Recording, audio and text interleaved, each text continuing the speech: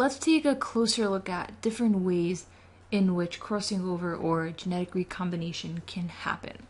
So here we have our homologous pair of chromosomes again that are crossing over, and we get something that looks like that. And this is called a single crossover. For the simple reason that they're crossing over once. But sometimes these chromosomes can get again close kind of close together and they might cross over in that same exact spot a second time.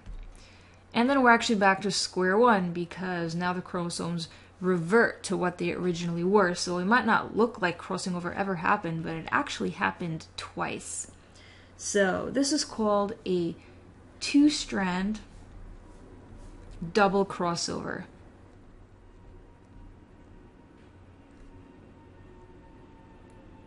And it's called a two strand double crossover because, well, it involves two strands. Let's actually highlight the two strands that were involved. So it was this strand and that strand. And it's called double because crossing over happened twice. Let's look at another scenario.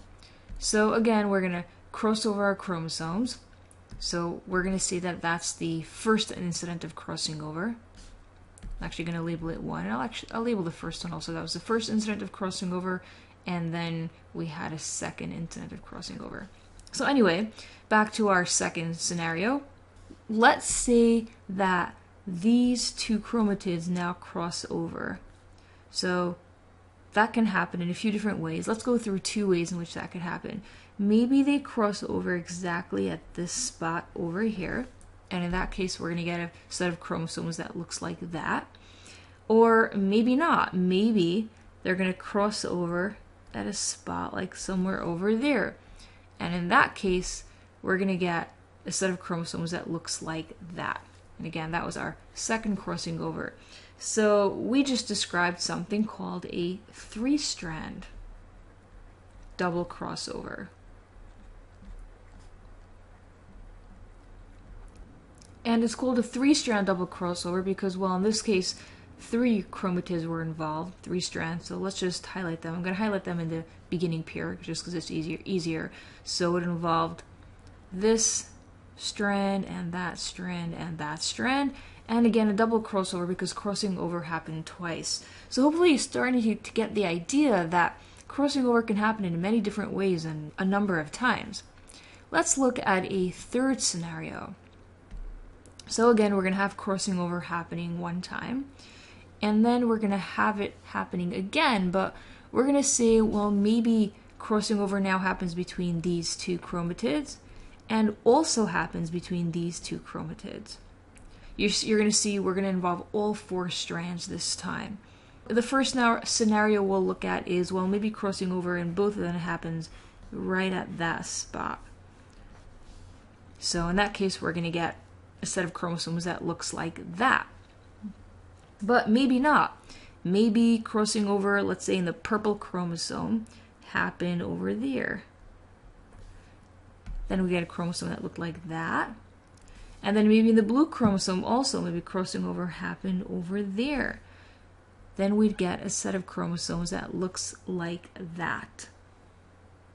And what we just described, well, this is called a four strand double crossover. So in this case, we involved all four strands.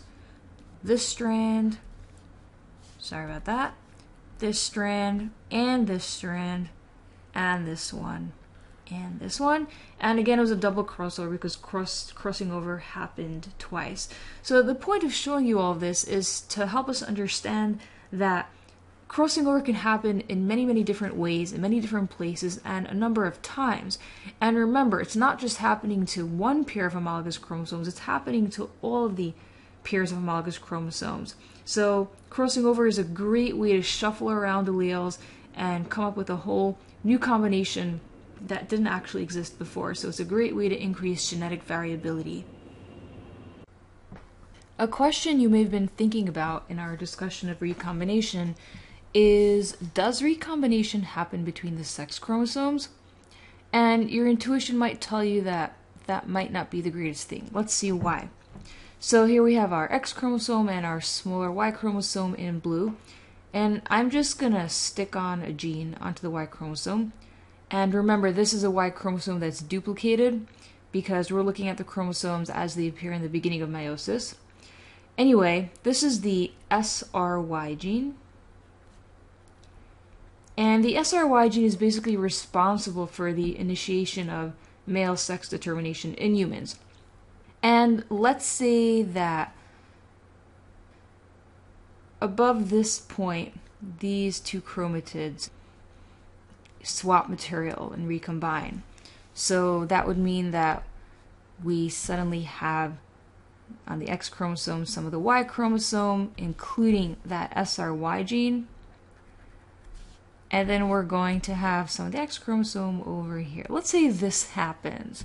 So this is going to be pretty problematic because the gamete that gets this Y chromosome is going to be in trouble because when that's fertilized, it's well supposed to become a male because it has a Y chromosome, but it's actually missing a very important gene, the SRY gene, that's going to turn it into a male. So you can see that this can lead to a whole host of problems. So let's see what actually happens between the X and Y chromosome. We have at the tips of the X and Y chromosome, I'm going to shade it in this uh, magenta, we have these regions called the pseudo autosomal regions. And crossing over does happen between the pseudo autosomal regions, so it could happen between these spots, provided that it's within the magenta shaded area. However, crossing over generally does not happen between the rest of the X and Y chromosome. So, this part of the Y chromosome that is the male specific region.